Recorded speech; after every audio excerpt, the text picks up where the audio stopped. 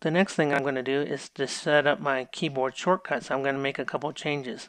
The reason I only use these two bar toolbars here is because I want to make sure I use the keyboard shortcuts and a mouse. It makes me much more efficient.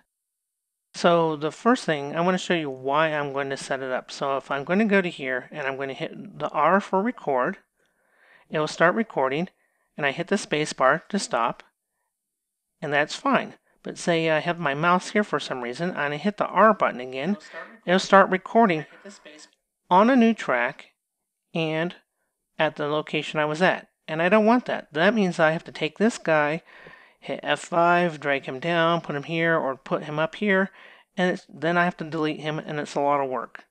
So I'm going to make this so when I record, it will record to the end. I'm going to hit F1 to go back to my select. So when I record, it'll go to the end down here. The other thing that's a little frustrating is when you're trying to mark verses or anything, if I hit the spacebar, it'll start playing, and when I hit the spacebar, it will jump back to where it started. I want the spacebar to stop when I hit the stop button. So when I go along, stop, I want it to stop and stay right there. So I'm going to show you how I make those two changes. I go to Edit, go under Preferences, and I'm going to go down to Keyboard. Now I know that the one I want is underneath Transport. And I want to come down and you will find here the R, the record, and you'll find record append. So I'm going to click on here the record and I'm going to take him and I'm going to clear him. And I'm going to want to change him to Shift R. So if I say Shift, hold the Shift and the R and I hit set, I say you can't do that because something else is assigned to it. Oh, the record append. So I need to go to record append and I need to clear him. Now that I remove the R from here, and I don't have the shift R there, I can come in here, click down below, hit the R, hit the set, come up to here, make sure you come down to this box here, shift R, set, and now I switch those. I didn't have to switch this to Shift R, but I like to keep that in there. So now when I hit the record, it'll append it to the end. The other one is underneath commands.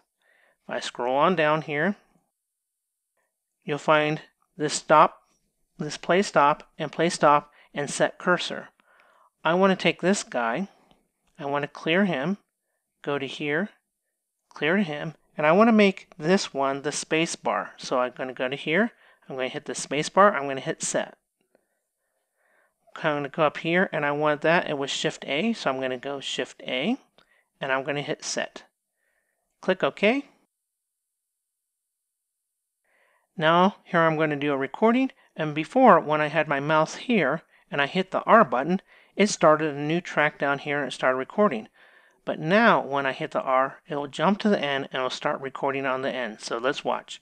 I hit the R and it started recording on the very end. So let's do that again. I'm going to hit here, I'm going to hit the R, and it started recording on the very end. Now, if I take it and I move over to the side here and I'm beyond it, it will start recording at this section right here. It'll fill in this section here with silence and it'll start recording. So if I hit R, it'll start recording afterwards. So it will append it afterwards. The other thing too that we changed is when I had this and I had the, hit the spacebar and it was playing. And when I hit the stop, it used to jump back to here. Now it stops when I hit the stop button where I hit the stop button, the spacebar. So I'm going to go a little bit farther. Space, and then all of a sudden it stops right there. Another shortcut that I want to add that I forgot when I did the original recording here is if you go under File, see Apply Chain, doesn't have a shortcut out here. So I want to add a shortcut for that because I use that quite often. So I go back under Edit, Preferences. Okay, I go, that was under the File, so I go under File, go down to the bottom, and you will find Apply Chain, and there's nothing here. I know that Control Shift Q is available. I hit Set, click here. Okay, now when I go under File, you'll see apply chain and you'll see control shift Q. So if I click on here or if I do the control shift Q, all of a sudden the apply chain comes up and I can use that feature.